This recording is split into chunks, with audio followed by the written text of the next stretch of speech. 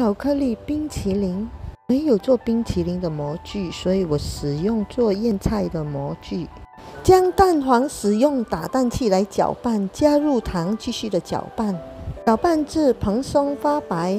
加入少许的柠檬汁去腥，继续的搅拌。将牛奶煮热，步骤要很注意，因为蛋黄很容易变成蛋花。将牛奶慢慢的加入蛋黄内，继续的搅拌。搅拌好后，再倒回锅内，小火慢煮一下子就可以了，不可以大火，因为蛋黄很容易结块。若有看到少许的结块，煮好后可以稍微的过滤。刚才我忘记加入盐，鸡蛋还有一点的热度，所以我快快加入盐，搅拌均匀。whipping cream 加入糖打发，加入少许的香草精。继续的打发至有纹路，将刚才的蛋黄糊分几次加入，继续的搅拌，搅拌至顺滑，有一点的流动性，不要打发过度。可以加入 Oreo 冰淇淋，必须有蛋黄的部分会比较香。如果我们直接打发淡奶油，就如影片上它是白色的冰，淇淋也没有这样香。将巧克力隔着热水融化。使用的是做腌菜的模具，倒入巧克力，让巧克力沾满在整个模具内。配备上不齐全，所以我做起来看起来脏兮兮的。多余的巧克力倒回去。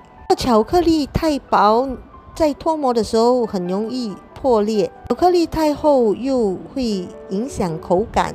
做好后放在冰箱冷藏，巧克力很快就凝固了。将冰淇淋放在裱花袋内，挤在模具内，不能够挤到太满，要有一点小缝，让待会再放入巧克力。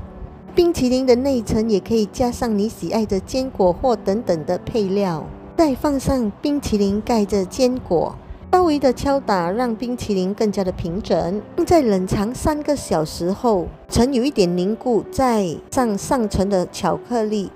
冰淇淋若不够凝固，巧克力很容易混合在冰淇淋内。再放在冰箱一个小时后就可以脱模了，这样就完成了。Hello，今天我做了这个冰淇淋巧克力，我是要想要模仿这个 m a n 哦。这个里面的冰淇淋呢，我是用这个蛋黄去去做的。如果我们只是用 whipping cream 来打，它没有这样香。